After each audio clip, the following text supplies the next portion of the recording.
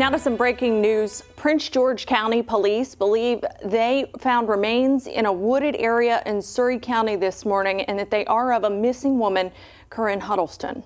They've also made an arrest in her disappearance. Investigators say 20-year-old Huddleston was last seen on October 6th, leaving a home on Laurel Springs Road in Prince George County.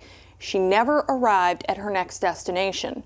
Police have arrested 31-year-old Benjamin Chikari. He's facing multiple charges, including second-degree murder. He is being held without bond. No word on if he and Huddleston knew each other.